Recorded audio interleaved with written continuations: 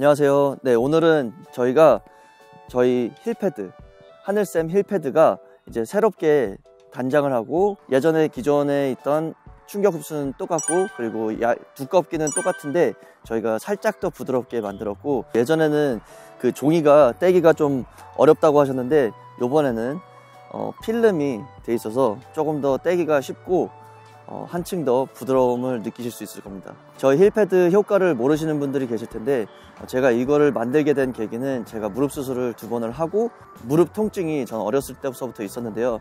저희 댐프너를 개발을 하면서 그 솔보텐이라는 재질을 알게 되고 여기에서 나오는 깔창을 다 써봤는데 어, 좋기는 하지만 효과는 있었지만 너무 느낌이 많이 나고 좀 불편한 점이 있었어 가지고 저희 힐패드를 만들게 됐어요 공식적인 판매는 저희가 저희 공식 네이버 스토어에서 28일 날 시작이 되는데요. 3년 만에 힐패드가 새롭게 출시를 하는 거기 때문에 출시 기념으로 저희가 22일부터 26일 일요일까지 할인 혜택을 받으실 수 있기 때문에 어, 꼭 할인 혜택을 받으시고요. 추워지니까 더 무릎이 시리고 아프실 텐데 어, 저희 힐패드를 사용하시면서 어, 건강하게 테니스를 치실 수 있길 바랍니다